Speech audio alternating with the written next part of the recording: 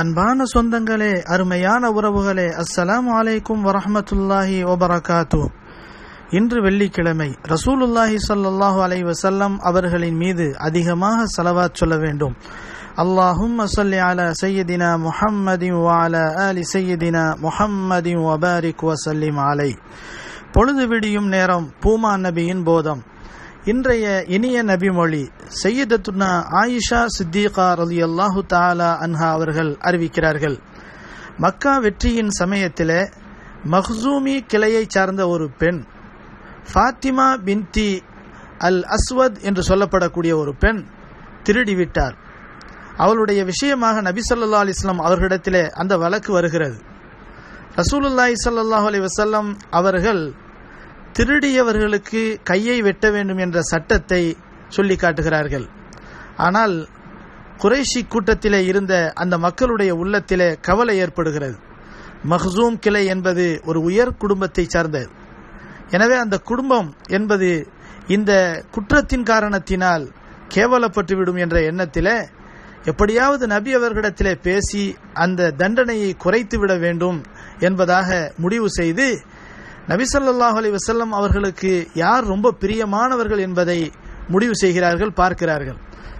அவர்களிலே பெருமானார் சல்லாஹ் அலி வசல்லம் அவர்களுடைய வளர்ப்பு மகனாகிய ஜெயித் அவர்களுடைய மகன் உசாமா ரலி அல்லாஹ் அன்ஹு அவர்கள்தான் நபி அவர்களுக்கு ரொம்ப பிரியமானவர்கள் என்பதை முடிவு செய்து அவர்களிடத்திலே சொல்லி நபி அவர்களிடத்திலே சிபாரிசு செய்வதற்காக வேண்டி அனுப்புகிறார்கள். பெருமானார் ஸல்லல்லாஹு அலைஹி வசல்லம் அவர்களிடத்திலே உசாமா ரலி அல்லாஹு அன்ஹு அவர்கள் வந்து அல்லாஹ்வின் தண்டனைகளில் இந்த கையை வெட்டுதல் என்ற தண்டனையை குறைக்குமாறு பேசிய போது பெருமானார் ஸல்லல்லாஹு அலி வசல்லம் அவர்கள் உசாமாவை நோக்கி கடினமாக கேட்டார்கள் அல்லாஹ்வின் தண்டனைகளில் ஒரு தண்டனையின் விஷயத்திலா? அதை தளர்த்தும்படி என்னிடத்திலே பரிந்துரை செய்கிறீர்? என்று கோபத்துடன் கேட்டுவிட்டு பிறகு எழுந்து நின்று எல்லா மக்களுக்கு முன்பாகவும் உரை நிகழ்த்தினார்கள். பிறகு அந்த உரையில் கூறினார்கள் உங்களுக்கு முன்னிருந்தவர்கள் அழிக்கப்பட்டதெல்லாம் அவர்களில் உயர் குலத்தவர் திருடிவிட்டால் அவர்கள் அந்த திருடியவனை தண்டிக்காமல் விட்டுவிட்டு யார் சாதாரண குடும்பத்தை சார்ந்தவர்கள் யாராவது ஒருவர் திருடிவிட்டால் அவர்களுக்கு அந்த தண்டனையை நிறைவேற்றக்கூடியவர்களாக இருந்தார்கள். எனவே அல்லாஹின் மீது ஆணையாக நம்முடைய உம்மத்தாகிய இந்த உம்மத்திலே எந்த சட்டமாக இருந்தாலும் ஏழை பணக்காரர்கள் என்ற எந்த வித்தியாசம் இல்லாமல் எல்லோருக்கும் பொதுவானது அல்லாஹின் மீது ஆணையாக முகம்மதின் மகள் ஃபாத்திமா திருடி இருந்தாலும் அவருடைய கையையும் நான் கட்டாயம் துண்டித்திருப்பேன் என்பதாக ரசூலுல்லாஹி சல்லா அலிஸ்லாம் அவர்கள் தங்களுடைய மகளை உதாரணம் காட்டி பேசினார்கள். இந்த ஹதீஸ் புகாரியிலே வருகிறது. அன்பானவர்களே இந்த ஹதீஸின் மூலம் ஒரு சிறந்த ஒரு விஷயத்தை நாம் தெரிந்து கொள்ள முடியும்.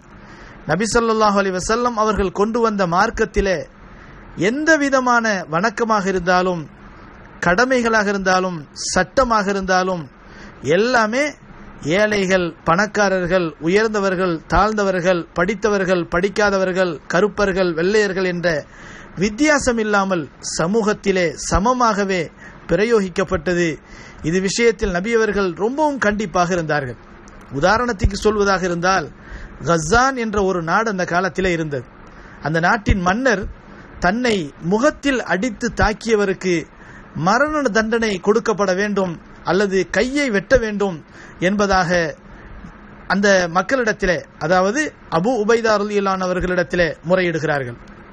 அந்த நேரத்தில் அபு உபைதா ரலி அல்லாஹ் அன்ஹு என்று சொல்லப்படக்கூடிய நபித்தோழர் தோழர் அவர்கள் பதிலுக்கு பதில் நீங்கள் அவரை அடிப்பதே நீதி என்பதாக சொல்லி தீர்ப்பு வழங்குகிறார்கள். ஆனால் நானோ மன்னன் என்னை அடித்தவருக்கு நிச்சயமாக அவருடைய கையை துண்டித்து விட வேண்டும் அல்லது வேறு வகையான கடுமையான தண்டனை விதிக்கப்பட வேண்டும் என்று சொன்னபோது அதை மறுத்துவிட்டார்கள். யாராக இருந்தாலும் சட்டம் ஒன்றுதான் என்பதாக கடுமையாக உறுதியாக அபு உபைதா அருளியலானவர்கள் கூறினார்கள்.